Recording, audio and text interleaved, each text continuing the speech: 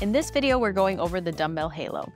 For the dumbbell halo, you're going to find your posture alignment first, then you're going to bring the dumbbell up to your chest. You want to bring the dumbbell around your head without changing the alignment of your posture. You can do circles in one direction and then go back the opposite, making sure that you're not leaning or changing your alignment as you go.